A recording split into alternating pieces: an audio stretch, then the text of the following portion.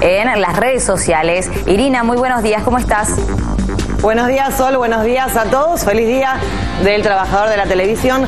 Y ayer, elecciones 2013, fue una palabra clave, porque en Twitter fue el hashtag más utilizado para hablar de las PASO, pero también fue el nombre de la aplicación que presentó el equipo de Alejandro Di Tulio, Alejandro Tulio, de, la Dirección Nacional Electoral, para seguir en tiempo real las votaciones. Desde el Twitter de elecciones Infodine se conocieron poco a poco todos los resultados. Esto fue pasada a las 21 horas y aquí estamos viendo la gran elección que hicieron ellos analizando los datos. Porque esta aplicación que se descargaba desde el celular o la tableta nos permitía ver apenas anunciado vía Florencio Randazzo eh, los primeros resultados, todas las mesas escrutadas según el país. Por ejemplo, aquí estamos viendo una captura de pantalla de la aplicación. Vamos a verla un poco mejor.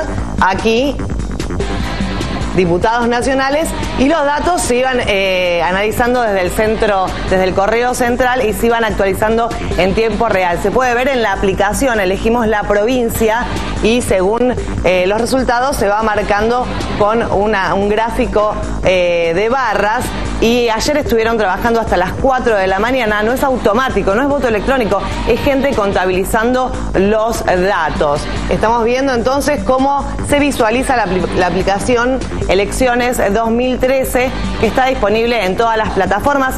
Hoy lo pueden ver, los datos, como decía, fueron contabilizados a mano desde el centro de cómputo y otro hackathon muy interesante, es decir, el análisis de la gran cantidad de datos, es el que preparó el Atlas Electoral de Andy Tow, es un politólogo que se ocupa justamente de hacer hack electoral, de analizar la gran cantidad de datos. Y ayer armó este mapa para visualizar, actualizado hoy a las 8 y media de la mañana y nos permite, haciendo clic en cada ciudad, ver cuál fue el partido que tuvo la mayor cantidad de votos, pero no solamente este mapa que nos dice un pantallazo a primera vista, sino que si ingresamos en cada una de las provincias podemos ver exactamente cada uno de los votos qué agrupaciones entraron, la cantidad de votos, porcentaje y diputados. Esto se puede ver en la página andytow.com y la aplicación Elección se puede ver desde Elecciones 2013 en tu que tenga Android o también sistema operativo Apple.